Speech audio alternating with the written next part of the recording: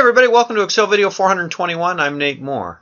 Just got back from a site visit to a client where they're really frustrated saying, we want this information, we know it's in our system, but the vendor says it's unreportable. We can't get this field out and it's really important to our business plan. Can you help us? And sure enough, with a little digging, now they have a report that references and reports on that unreportable field. When you're frustrated with your PM or your EHR software and you want data that you can't get out of your current reports, I'd love to help you. We're going to play with tables today. If you haven't seen tables, Excel video 30 and the videos after that talk a bunch more about tables. As we talk about how to reference cells in VBA and in macros, I want to spend just a video on how to reference tables. So if I have this table here, what I can do, if I do Alt F11 and bring up my Visual Basic Editor, the way to reference a table is Worksheets, and you'll notice that Tables is the name of the worksheet, and Table 1 is the name of my table. Tables is the name of my worksheet, and from the Design menu, Table 1 is the name of my table. So what I can do is I can say, okay, on the worksheet tables, the list objects is Table 1, that's the name of my table.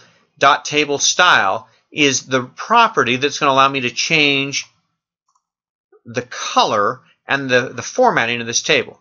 Let's run the code and I'll show you what I mean. What I'm going to do is just highlight this so all we do is run this code. We come back over here, and sure enough, we can change the style of the table with a quick and easy macro. So if you're doing, you know, a monthly report or a quarterly report, and you want, you know, December is always this color, or this clinic is always that color, and you need a quick way to change the color, save it as a table, and list objects with the name of the table and table style will let you use one of those predefined styles, and it's a pretty easy code to write.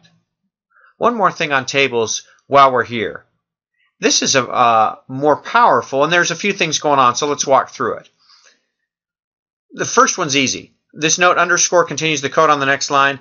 This code would go on and on and on. So what I did is at the end of it, I put this underscore character, which tells Excel, hey, there's more code over here.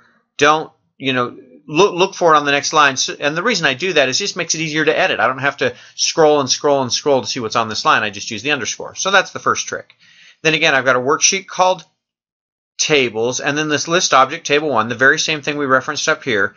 Now what I'm going to use is the dot range property and dot special cells, XL cell type visible. What that means is I want to grab the visible cells from a table. Why would I want to do that?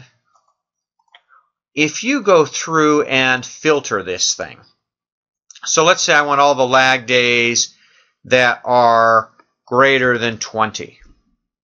Now I've got this, but notice now I go from row 1 to row 17 to row 25 to row 26 to 34. See, there's a bunch of cells in here, and if I try to copy and paste, I'm going to get everything.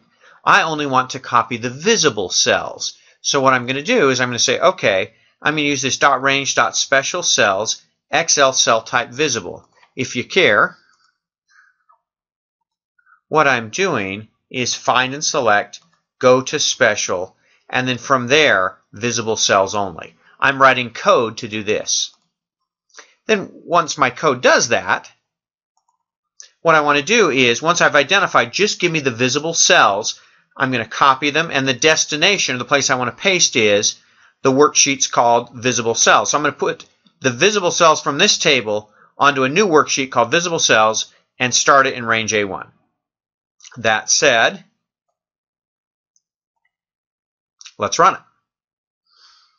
So I'm going to come over here, and now what I've got is, here's the visible cells in the table that's filtered, and now let's go to the visible cells tab, and sure enough, row 1, 2, 3, 4, 5, 6, I've only copied and pasted the visible cells. So if you do some kind of analysis and then want to send it out to staff to, okay, here's the claims to analyze, or here's the appeals to do, or here's what to work on next, that the special go to special visible cells can help you do that. And here's a quick and easy macro to make it happen.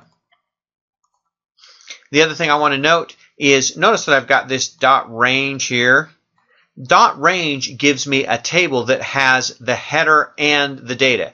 If you just want the data, instead of using dot range, use dot data body range and you'll just get data, not the headers. Most of the time I want the headers, so it's no big deal to me, but if you ever just wanted the data, that's how to do it.